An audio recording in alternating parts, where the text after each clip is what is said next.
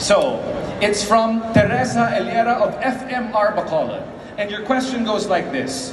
What is your take on the creation of the Negros Island region? As we all know that our province has a diverse beauty of nature, culture, and a progressive state of society. But one thing that makes our province special is the bright smile of people, the people that unite as one and shows warmth and love towards another. And this is something that we should always take pride in. Thank you. Once again, let's go. And it's from Sunstar Bacolod. If you were a delicacy in your hometown, what would it you be and why?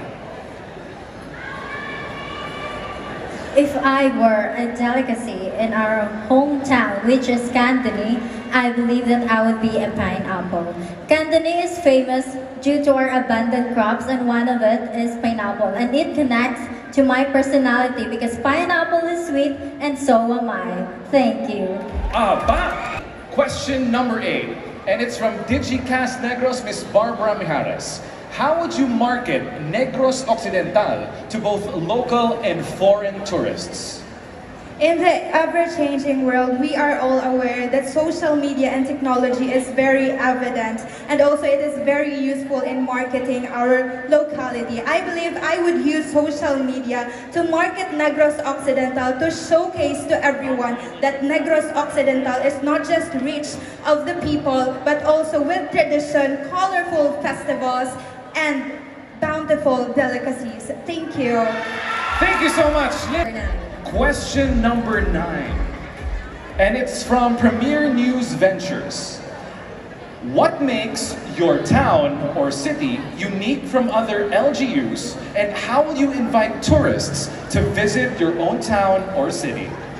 Aside from beaches comparable to that of Boracay and Siquijor, I believe Cauayan could offer to us people who utilize their natural resources for their livelihood. And that can evidently be seen in our thriving aquaculture, not in the sense of compromising our environment, but in the sense of giving back with the additional profit and resources that we earn with tourism. Which is why I urge everyone to please come and visit Cauayan with all of its glory, and I will be willingly, happily be your tour guide. Thank you.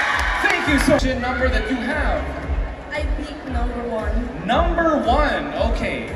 Let's find out. It's from DNX News. So the question goes like this. If you are given a chance to promote the province, what particular Negrense food best describes Negrenses and why?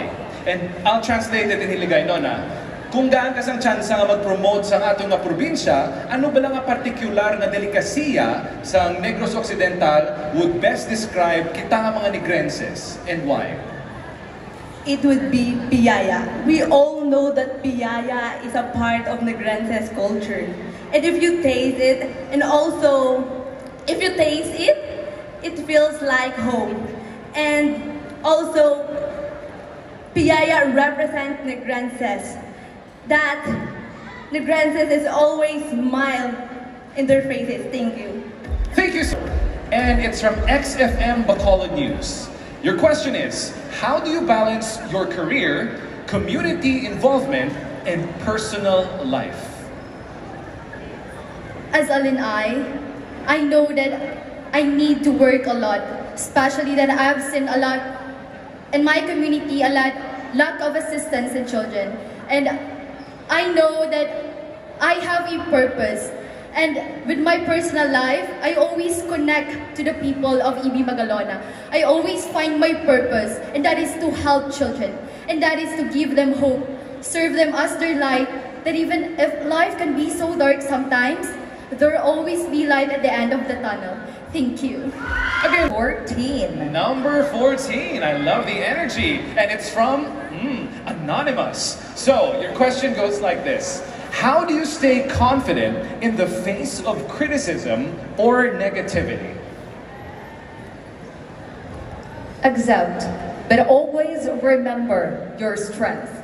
It's inevitable for us to receive criticisms, may it be constructive, may it be distractive or destructive. But what we can control is our mind, is how we think of ourselves. And always remember, to echo your mind that we are powerful, that we have strengths, and with that, we can inspire others. We can be the change, and that confidence will radiate to others. And maayong hapon once again. Question number five, and it's from K5 News FM. Many Negrense farmers are now affected by the dry spell. What do you think would help them in these trying times? Good afternoon.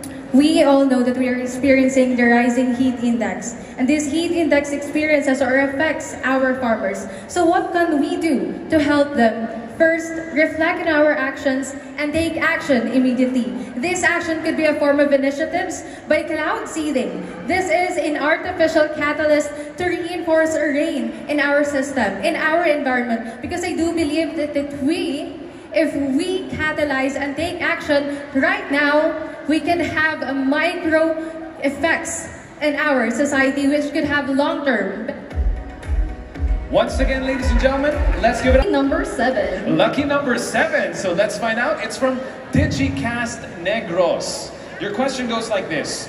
What actions should be taken today to minimize the effects of the El Nino phenomenon in the future? As we have all experienced the wrath of El Nino, it is because of our unsustainable practices that exploit the environment. Our relentless pursuit for economic growth comes at the expense of our environmental degradation. That's why to combat El Nino, we need to start with ourselves. To change and transform the world, we have to change our ways, just like what Michael Jackson said in his song. If you want to make the world a better place, All right, once again, let's give it up for Lynn Steen. The last question, it's from an anonymous uh, friend from the media. What does beauty mean to you and how do you promote inner beauty?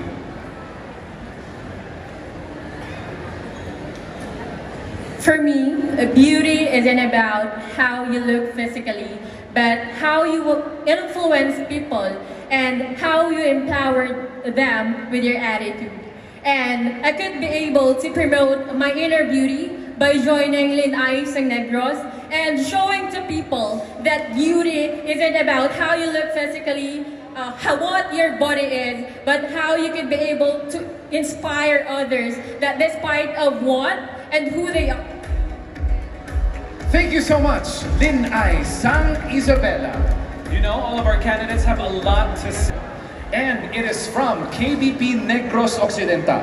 Your question is, how would you promote the everyday culture in your province?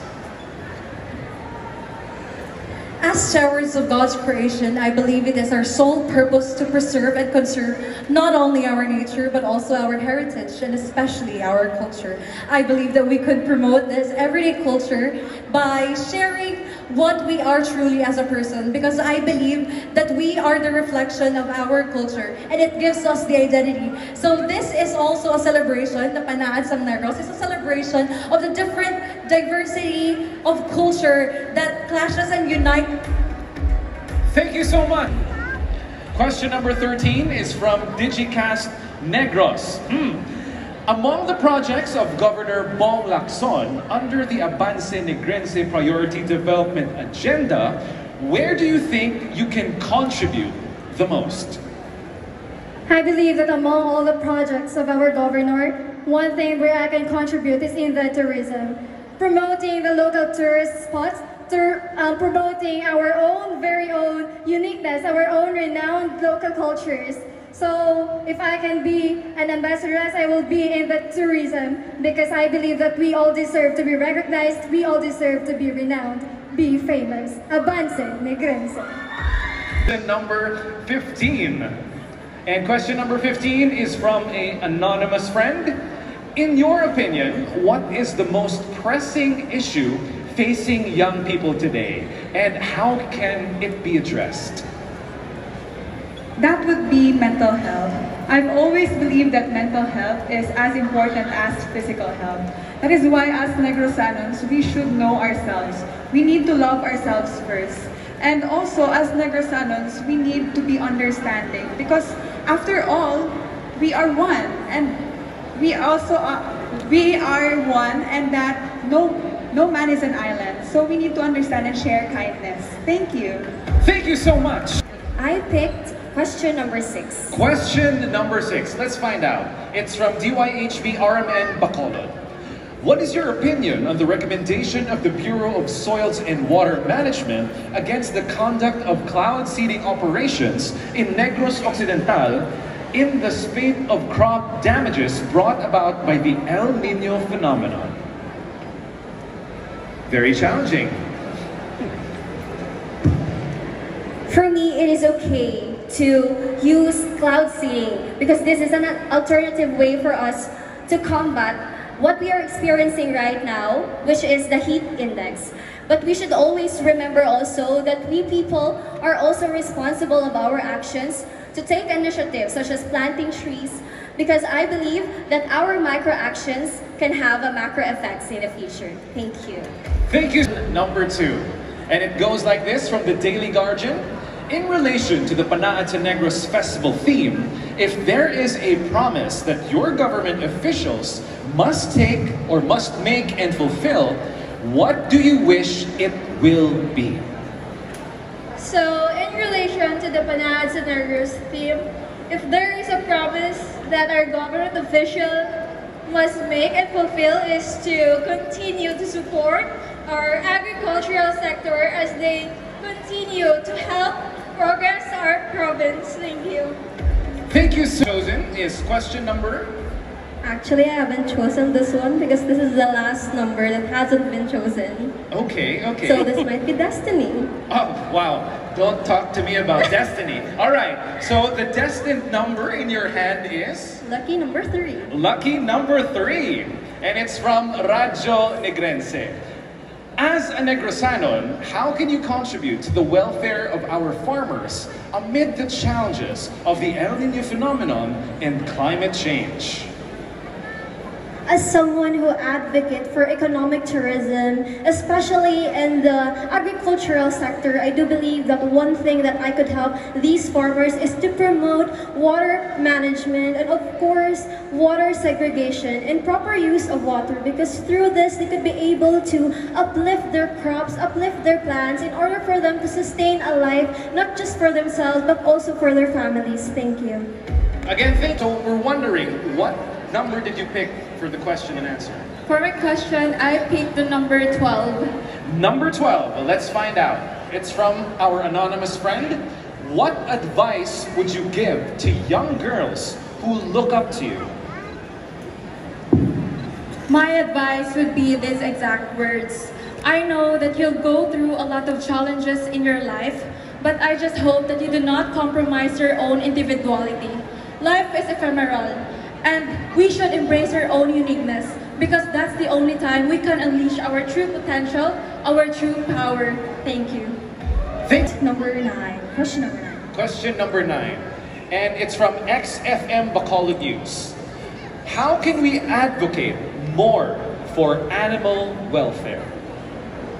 I am very passionate about when it comes to animal welfare because I believe that empowering one another doesn't come in one form. It comes in many forms. As I grow older, being on a field of pageantry that grows beautifully within me, I always dedicate myself and my voice to uplift not just human welfare but the animal welfare as well because I do believe that the animals should be given deserve that they, the treatment that they deserve, the equal love and opportunities, the protection and the support just as we give to other people. Thank you so much. Again, to, like to break the ice, so what's the number in your hand? I have number seven. Question number seven. Question number seven, and it's from Panay News. Online gaming or gambling is prevalent nowadays with millennials as praise. If you will be crowned Linay Sang Negros 2024, what advocacy would you lead to save your fellows from online gaming and gambling addiction?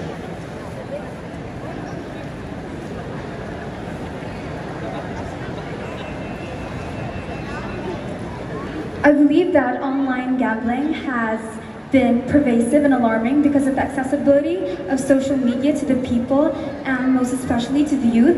And the advocacy that I would use is that to use it in, as these advancements are available, I believe that we use it in moderation and ultimately I always believe that everything, too much of everything is harmful. Thank you. That's good afternoon, Lin-ay Sang Escalante. Good afternoon, sir. Good afternoon, everyone. Okay, so each one of us has chosen a number randomly, and the number that you have is number I pick number eight. number eight. And number eight is from Sunstar Bacolod. Negros Occidental will be observing the Provincial Renewable Energy Week in the third week of May. Why is it important to have that we have to be aware and take part in this momentous observance? Recently, Negros Occidental launches a provincial renewable energy week, and that there is an executive order which our governor signed, in which it addressed the energy crisis, which promote the sustainability, the sustainability, and the energy security of our province. And as Lynn I, it is my strong will of commitment to be the spokesperson to preserve and to sustain, to promote sustainability and Once again, thank you so much, Lin-ay Sang Escalante. Let's find out. It's from DYHB RMN Bacolod. And your question goes like this. If you were to meet the so-called Sota Sang Kanlaon, what would you tell or ask her? Sota is the um, the goddess or the what do you call it? The goddess of the Mount Kanlaon, and he protects and the environment of this of this beautiful city. And he hates to destroy it. And I would like to tell her that we are taking the response to all the to all the okay so Once again, thank you so much. Is number I pick number two. number two, and we will find out. Okay, so question number two is from from XFM Bacolod News, and your question goes like this: What is your opinion on the ongoing modernization projects in some cities here in our province of Negros Occidental? I believe that there's been a lot of modernization right now here in Negros Occidental. When it comes to transportation, we have highly urbanized jeepneys. When it comes to health and agriculture, we have a lot of highly technological equipment that can fasten the work of everybody. But as a future educator, I would like to highlight the education because we are now living in a 21st century curriculum where we are student-oriented and research-oriented, where we continue to compete globally and internationally. And in line with my advocacy, education for every child of a farmer, Number three. Question number three is from K5 News FM. If you could pick one underrated tourist spot in your respective town or city, what would it be and how are you going to promote it to entice our visitors? Good evening, everyone. I am very blessed to be living in La Carlota City, which is very rich in natural resources. Natural resources that can be considered as underrated tourist spots. Natural resources that can be considered as amazing destinations that are still yet undiscovered and undeveloped. And what I can do in order for me to help the government uh, promote this kind is to assist the government in the promotion of these kinds of activities. Thank you so Number six. Number six. So as we flash it on the screen, we have from Premier News Ventures. Are you in favor of the transgender women joining any beauty pageant, just like in the Miss Universe beauty pageant? In this rapidly evolving and changing world, pageantry is also changing. And I think that including transgender women into biological women beauty pageant is never a problem because this boils down to inclusivity. Because a true essence of being a beauty queen does transcends beyond our gender, our age, and our societal status. Because what matters the most is how we uplift empower, inspire the people around us, and how we fight for the, for the causes that are really close to us. Thank you. Thank you so much. And it's from our anonymous friend. Your question goes like this How do you define success, and what steps are you taking to achieve it? Success is when you are able to do the things that satisfies you regardless if you lose or win. I have come this far and this is the biggest stage that I am in through my city and, and that satisfies me in a way that I can gain more experiences into it. So I believe success is synonymous to satisfaction. Thank you and good afternoon. Madam Muging Salam is the number that you have picked. The number that I have picked is number one. Question number one. It's from Radyo Negrense. As a Negrosano, how can you contribute to the welfare of our farmers amid the challenges of the El Nino phenomenon and climate change? As a Negrosanon, I can contribute to our farmers during this time of El Nino by encouraging our government to act such as creating solutions such as the cloud seeding because it will help our farmers sustaining their products and with that in this little act that we can do we can do better for our farmers and with this we we can look forward for a better Negros and a Abanse Negrense. Thank you. Thank you so much. Question number 10. And it's from an anonymous friend. What qualities do you think are important for a Linay Sang Negros to possess?